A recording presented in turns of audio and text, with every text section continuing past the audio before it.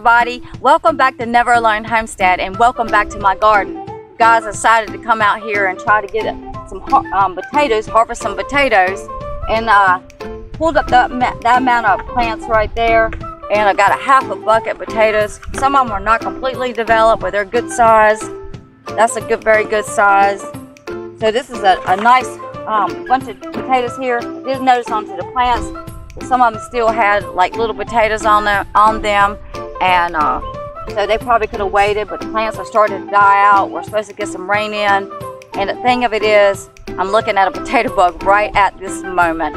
And trying to keep smashing potato bugs is just hard work. It's kind of crazy because you think you got them and then they're there again.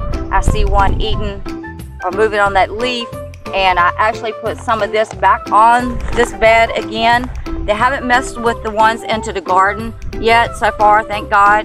But last time I put this on, it took care of it because it became a battle just trying to smash those potato bugs. And But they decided to come back. So I also, while I was digging up these potatoes, I found some of my seed potatoes. And I'm going to be planting those again. They look pretty good. That one I stabbed with a pitchfork, but it'll, it'll heal up.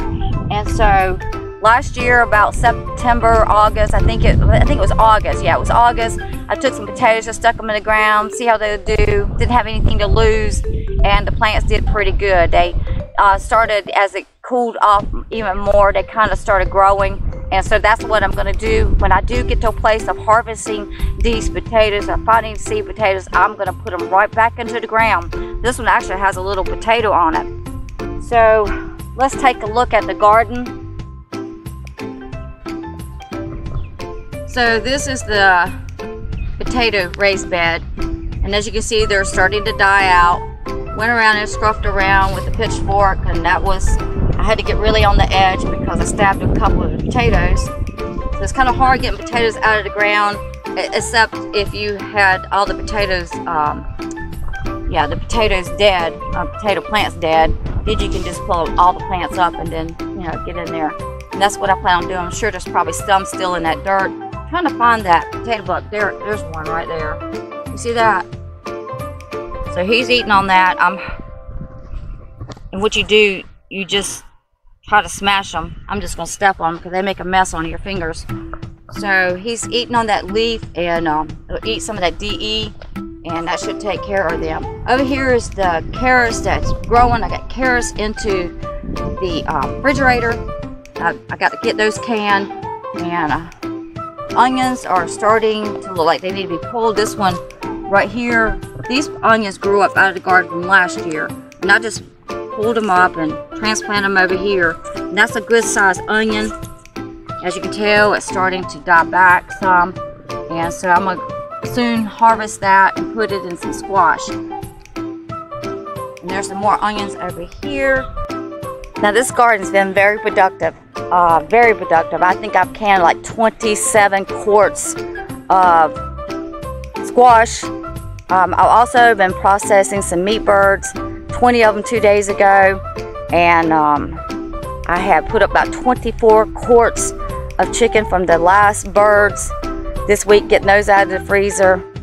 Been uh, getting string beans, garden peas, um, did dig up some potatoes, uh, gold prize squash, straight necks. The tomatoes are doing really excellent. So yesterday afternoon I did take and uh, I'm picking squash like morning and afternoon. But as you can tell the garden is just looking just dynamite. It is really ramping up here. These are some okra. I grew these from seeds, spaced them out, put them in cell, uh, seed cell trays and I was able to space them out. Uh, these are celebrities. Those, those were also grown from seeds. That's a straight neck gold prize squash. Over here, oh, look at the look at these. That's what I've been wanting to see. I've been wanting to see those bees because some of these um, blooms that get pollinated or some of the squash that get pollinated. And one of the things I do as I go in here because these plants are I decided to uh, plant them close together is to break these leaves off so it'll give room for the other plant that's beside of it. And these will probably be about ready to pick this afternoon. Here's, like I said, I picked them yesterday afternoon. But they're growing so fast. Just take and twist it. Here's one. Uh, another squash. I went by here and just laid it beside the road. And some of these can just go ahead and be picked. I'm gonna probably go ahead and um, take some to my daughter, my son. I'll be seeing them today. So yeah, the bees are just coming in here now, doing their job. We've had a problem with pollinating this year. These are celebrities right here. I need to go with another string on the other side. I haven't got to it yet because I've been canning so much. And these are the okra. Once again, these are Clemson. I think spineless. They're Clemson anyhow. And uh, so they're, they're taking off because it's starting to be hot here. Over here is the big better boys. And these plants are doing excellent. I gave them a good haircut. I keep my plants really trimmed. Squash, the tomatoes, came in there and harvested a, a lot of leaves off of these because I don't want all these leaves. I want I want plants and plus I can see if there's any worms in there. So they're loaded down. They won't be long. These tomatoes will start turning. Right there. They're starting to turn already. I've got to water the garden. Had an ordeal with my water softener. So it kind of bursted and and so it was running over and ran into the garden, which is good. So that's why I haven't watered yet because I'm trying to let some of this water go down. But look at all those tomatoes right there. They are loaded down. And uh, get the out of the way. They're just loaded down. It won't be long. I'll be having a tomato sandwich here. They have, the plants are grown up and my plan was, and they're growing so fast that my plan was to interweave them into this string right here. And I'll have to come back. I want to put string on the other side. I'll probably be taking some more of these leaves out. And there's lots of blooms on these. They're just, just really producing a lot of blooms. This is a cherry tomato. It's loaded down with cherries down there. These are close to the ground, so I'll take my clippers and come back in here and get these leaves away from the ground.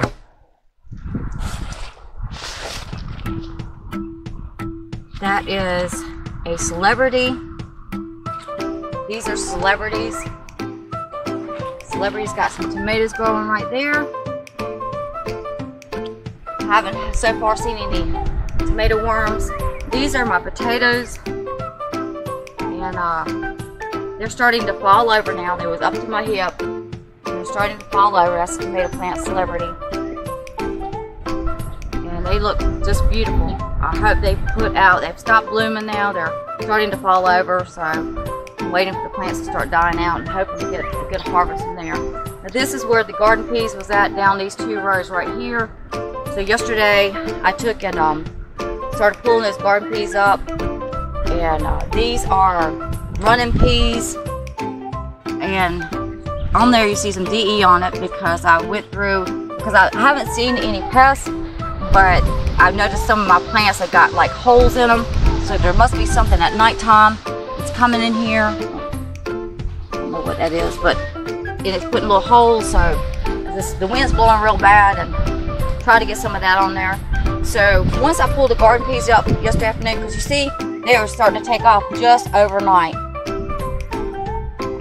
starting to run. So my plan was I had time getting the garden peas. Um, my plan was, uh, you know, those see if I can get some harvest from those. And uh, then I ahead and put these peas in here and took and sowed them in there. Figured that by the time the garden peas were just got to be taken out of here because of the heat, these will be up enough.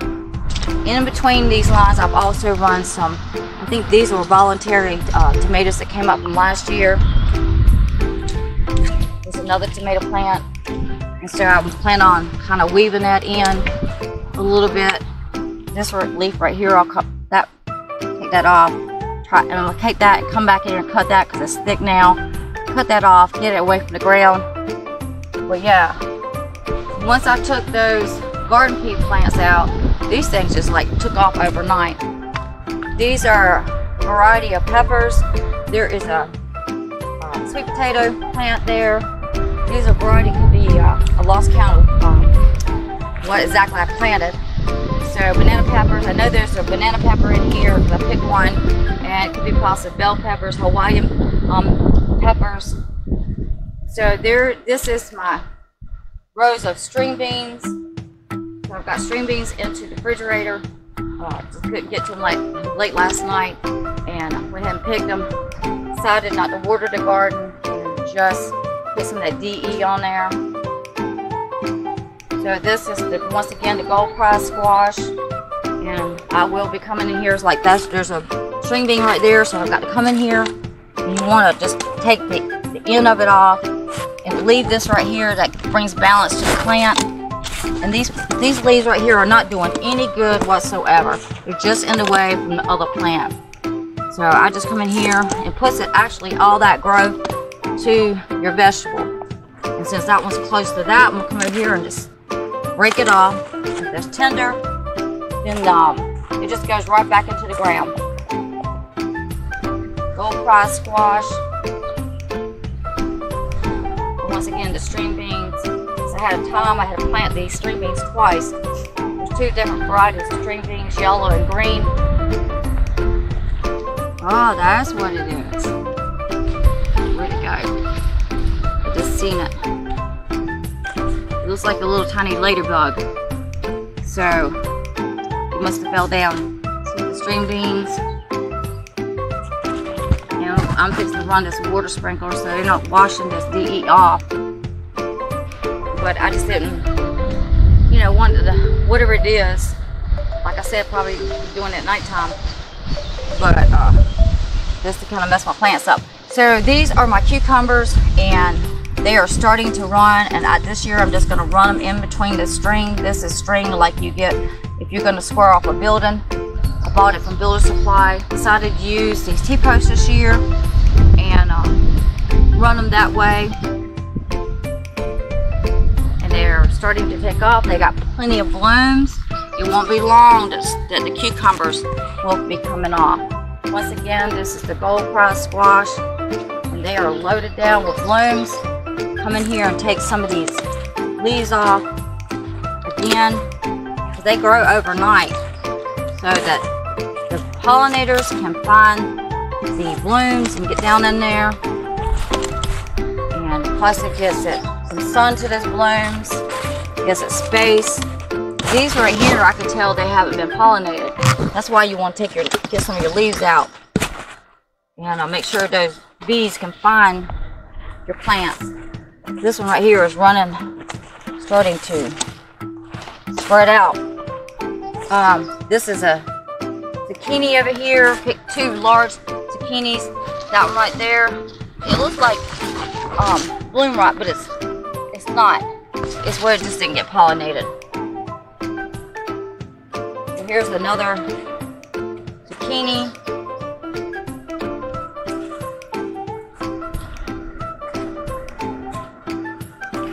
Prize squash. And this right here is a small wandering squash. Definitely got to get some more leaves out of here. This thing is loaded down with small wandering squash. Get in there. They're, they are loaded, loaded down. All in there, everywhere. I don't know, I don't know much about these small wandering squash. I've never planted them before decided to run up on a trellis is what I wanted to do earlier because of weather. I couldn't get to it. And as you can see they are running. That keeps them from running all over the garden. So if you know anything about small wandering squash uh, shoot me a comment anything harvesting or whatever. This is a different type of squash. Now they I'm I'm not sure about these either. It starts with the peas there's one back there different, different shape. leaves the way. Different shape. Um, this does run, but yeah, had a problem with the pollinators, so I'm, I'm gonna have to do some research and knowing if you see these, it starts with a P and it can't Pavilia or something Pavura or something other, but um, you know, if you know anything about these type of squash, shoot me a comment. Never grew these before, but this is really hard, so um, I just don't, I just got to do some research. I haven't had time. I've been canning so much, but I have been taking some leaves off of these too so they can get pollinated. And there is a several of them down down in there. One back there. They uh, hold pretty well. I heard up to four, three, four, four, five, six months. You know, in a cool, dry place. More gold prize squash. There are some of those squash again. So there's several of them in there. Since the pollinators coming out, they should probably just do pretty good. And more gold prize squash. This is another small wonder squash, and as you can tell, it's running all over the ground. I didn't get a chance to take and put that on a trellis. But once again, these are my okra. I like to trim the leaves on my okra. I haven't been able to do anything with them, but they're they're not really that big. Oh, I see. I see some okra. I see okra blooms coming out. So, yeah. Got to run this up on the trellis, trying to keep, keep it out of the way. And there's one of these squash.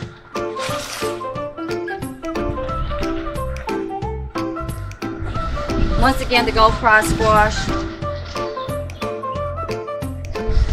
And throughout here, we missed it. Oh, there's one I was fixing to say. There is a sweet potato. So I got sweet potatoes um, branched out here and there. One back in there between the string bean, gold and there's some sweet potatoes right there.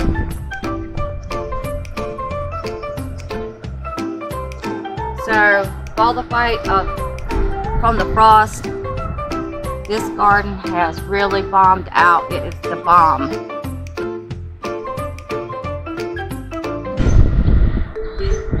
So this is the moss rose I grew from um, seed. I've got some more in different planters. And I just love these flowers. They're very hard to find in the summertime at Lowe's. They get gone very quickly. But I found the seeds and I grew these up in seeds and that's what I'm planning on hopefully keep on doing. There's some more right there.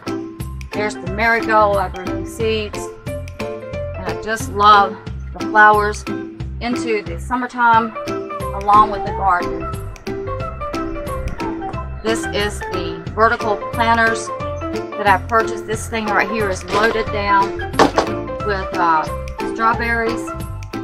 Just loaded down. It's on roller, so you can roll it around. I'm on my deck, so it's kind of hard, but um, and it's heavy too. This one I didn't put on top. This is your waterer right there on top. But as you can see, I've got, um, reason I didn't do that is because I've got strawberries that are running. These are running. And uh, I'm not going to keep them in this vertical planter because it's just a temporary home for them. Because as you can tell, they're running. So I want more, more strawberry plants. I invested in these strawberry plants to get more strawberry plants. So what I've been doing is taking, uh, like that one's running right there, and there's one down and I just stick it into the dirt. It'll get a little bit longer, and I'll just cover the base right there with dirt, and then leave this sticking up, and it just seems to work pretty good with that. It's got loads of runners. This is one right here It's coming off this plant right here. Stuck it into dirt right there and it's growing. Ate some strawberries for breakfast this morning. And uh, won't be long. I've got the, the uh, potting garden mix, whatever soil put in that right there. Uh, so it'll be going in there and I'm not sure what I'm going to put in there yet. But this these two things are uh, vertical planters, should I say. They're the original I thought this was supposed to be the original. I thought this was the, uh, the leaf. And then I ordered the original, but they look the same. And when I was looking at the leaf vertical planter and the original, only thing I could tell differently is that um, possibility that the, you know, look like they hold the same amount of work, uh, work, uh, soil or potting mix. And maybe this would have been a little bit wider, but lengthwise, so I just thought, well, and so this time I thought I was ordering the original, but maybe I ordered both original. But I looked at that, I said, that looks like the one I already got. You don't see much difference in the size. But it is a, it's a five tier. And up here you put your water. It has a little drain hose at the bottom. And this is supposed to go down and water the every, you know, because this cycles right on down to everyone and uh, push distributes the water out. It's on a roller so you can roll it. And actually with this over here, I don't, since I don't have that base on there, with these strawberries that need a lot of water, it's been so hot here, leaves do eventually die out. But um, I just take my sprinkler little hose thing, you know, a little sprinkler on the end of it, and just give these a good water. And that seems to do pretty good because I got to come up here and water all the other plants. Guys, thank you so much for watching. If you don't mind, please give me a thumbs up and subscribe. And thank you all my subscribers. And I can't remember the names of those. It's been such an inspiration to my channel, giving me encouraging words. It just means so much, especially with those that sit there and say you do good content. Uh, having a homestead and trying to do a homestead by yourself, canning, processing chickens, taking care of all the animals, taking care of the garden, taking care of two homesteads, it can be very challenging. It is a way of life and it is a, a place of determination. So me having a lot of time to, to even sit back and edit takes a lot of time.